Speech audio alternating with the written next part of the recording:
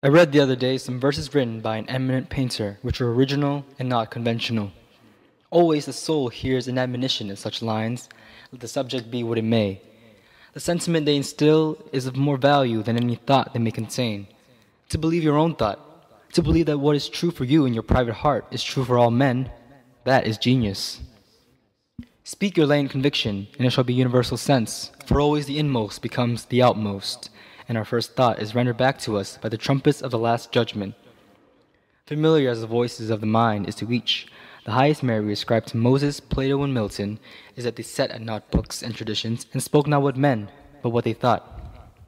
A man should learn to detect and watch that gleam of light which flashes across his mind from within, more than the lustre of firmness of bards and sages. He dismisses without notice his thought because it is his. In every work of genius we recognize our own rejected thoughts. They come back to us with a certain alienated majesty.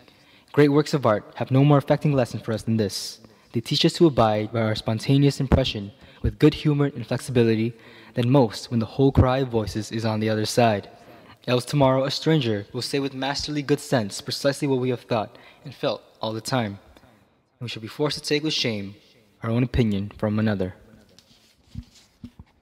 There is a time in every man's education when he arrives at the conviction that envy is ignorance, that imitation is suicide, that he must take himself for better or for worse as his portion, that though the wide universe is full of good, no kernel of nourishing corn can come to him but through his toil bestowed on that plot of ground which is given to him to till. The power which resides in him is new in nature, and none but he knows what that is which he can do, nor does he know until he has tried. Now for nothing one face, one character, one fact makes such impression on him, and another none. It is not without pre-established harmony, this sculpture in that memory. The eye was placed where one ray should fall, that it might testify of that particular ray. Bravely let him speak the utmost syllable of his confession. We but half express ourselves, and are ashamed of that divine idea which each of us represents. It may be safely trusted as proportionate and of good issues, so it be faithfully imparted. But God will not have his work made manifest by cowards. It needs a divine man to exhibit anything divine. A man is relieved and gay when he has put his heart into his work and has done his best. But what he has said or done otherwise shall give him no peace. It is the deliverance which does not deliver. In the attempt, his genius deserts him. No muse befriends, no invention, no hope. Trust thyself. Every heart vibrates to that iron string. Accept the place the divine providence has found for you, the society of your contemporaries, the connection of events. Great men have always done so, and confided themselves childlike to the genius of their age, betraying their perception that the eternal was stirring at their heart, working through their hands, predominating in all their being. And we are now men, must accept in the highest mind the same transcendent destiny, and not pinch in a corner, not cowards fleeing before a revolution, but redeemers and benefactors, pious aspirants to be noble clay under the almighty effort. Let us advance on chaos and the dark. These are the voices which you hear in solitude, but they grow faint and inaudible as you enter into the world. Society everywhere is in conspiracy against the manhood of every one of its members.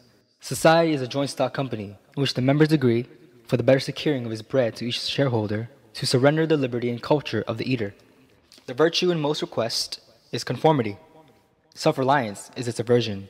It loves not realities and creators, but names and customs. Whoso would be a man must be a nonconformist. He who would gather immortal palms must not be hindered by the name of goodness, but must explore if it be goodness. Nothing is at last sacred but the integrity of our own mind.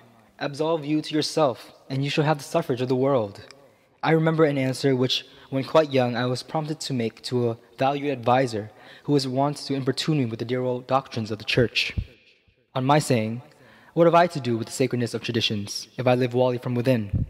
My friend suggested, But these impulses may be from below, not from above. I replied, They do not seem to me to be such, but if I am the devil's child, I will then live from the devil. No law can be sacred to me but that of my nature. Good and bad are but names very readily transferable to that or this. The only right is what is after my constitution, the only wrong, what is against it.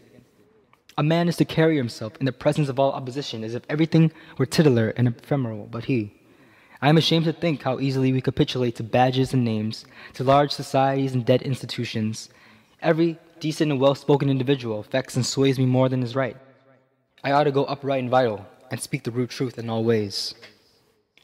What I must do is all that concerns me, not what the people think. This rule, equally arduous in actual and intellectual life, may serve for the whole distinction between greatness and meanness. It is the harder because you will always find those who think they know what is your duty better than you know it. It is easy in the world to live after the world's opinion. It is easy in solitude to live after our own. But the great man is he who, in the midst of the crowd, keeps with perfect sweetness the independence of solitude. The objection to conforming to usages that have become dead to you is that it scatters your force, it loses your time, and blurs the impression of your character. If you maintain a dead church, contribute to a dead Bible society, vote with the great party, either for the government or against it, spread your table like base housekeepers. Under all these screens, I have difficulty to detect the precise man you are. And of course, so much force is drawn from your proper life. But do your thing, and I shall know you. Do your work, and you shall reinforce yourself. A man must consider what a blind man's buff is this game of conformity. If I know your sect, I anticipate your argument. I hear a preacher announce for his text and topic the expediency of one of his institutions of his church. Do I not know beforehand that po- not possibly can he say a new and spontaneous word? Well, most men have bound their eyes with one or another handkerchief and attached themselves to some one of these communities of opinion. This conformity makes them not false in a few particulars, authors of a few lies, but false in all particulars. Their every truth is not quite true. Their two is not the real two. Their four not the real four so that every word they say chagrins us, and we know not where to begin to set them right. Meantime, nature is not slow to equip us in the prison uniform of the party to which we adhere. We come to wear one cut of face and figure, and acquire by degrees the gentlest asinine expression. There is a mortifying experience in particular, which does not fail to wreak itself also in the general history. I mean, the foolish face of praise, the forced smile which we put on in company where we do not feel at ease, in answer to conversations which does not interest us, the muscles, not spontaneously moved, but moved by a low, usurping willfulness, grow tight about the outline of the face, and make the most disagreeable sensation, a sensation of rebuke and warning which no brave young man will suffer twice. For nonconformity, the world whips you with its displeasure. It is easy enough for a firm man who knows the world to brook the rage of the cultivated classes, their rage is decorous and prudent, for they are timid, as being very vulnerable themselves. But when to their feminine rage the indignation of the people is added, when the ignorant and the poor are aroused, when the unintelligent brute force that lies at the bottom of society is made to growl and mow, it needs the habit of magnanimity and religion to treat it godlike as a trifle of no concernment. The other terror that scares us from self trust is our consistency a reverence for our past act or word because the eyes of others have no other data for computing our orbit than our past acts, and we are loath to disappoint them. But why should you keep your head over your shoulders? Why drag about this monstrous corpse of your memory, lest you contradict somewhat you have stated in this or that public place? Suppose you should contradict yourself. What then? A foolish consistency is the hobgoblin of little minds, adored by little statesmen and philosophers and divines. With consistency, a great soul has simply nothing to do. He may as well concern himself with his shadow on the wall. Out upon your garter lips. Sew them up with packthread, do. Else, if you will be a man, speak what you think today in words as hard as cannonballs, and tomorrow speak what tomorrow thinks in hard words again, though it contradicts everything you said today. Ah, then, exclaimed the aged ladies, you shall be sure to be misunderstood. Misunderstood? It is a right fool's word. It is so bad, then, to be misunderstood? Pythagoras was misunderstood, and Socrates, and Jesus, and Luther, and Copernicus, and Galileo, and Newton, and every pure and wise spirit that ever took flesh. To be great is to be misunderstood.